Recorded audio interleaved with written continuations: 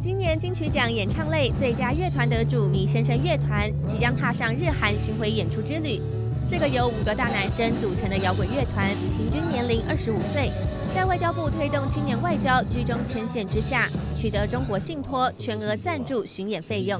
那迷先生乐团这一次到日韩的巡回演出，基本上是一个结合公司部门的资源啊，共同来推动青年外交的一种新的模式。那么，对于鼓励我国的青年跟国际接轨，来支持新译文世代拓展国际文化交流，具有多重正面的意义。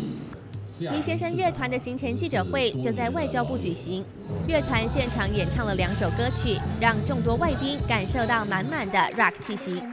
驻台北韩国代表部代表赵百相和日本交流协会台北事务所秘书长冰田龙也到场，预祝李先生乐团演出成功。外交部次长石雅平勉励团员，借着此行增加自己的创作能量，也要增进国际对台湾的认识，肩负起青年外交的使命。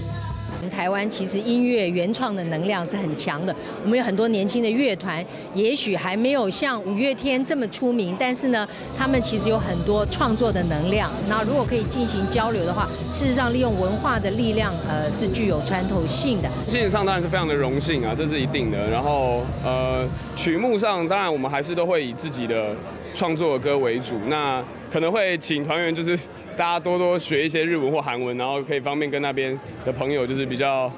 好亲近一点。对。米先生乐团预定八号到十三号飞往日本东京、福冈和南韩釜山等地开唱，当地代表处也协助安排团员演出空档的参访行程。外交部表示，结合公司部门的资源，可以扩大青年出国交流的机会。期盼民间企业多多响应，未来把更多优秀的艺文团体带上国际舞台，彰显台湾的文化软实力。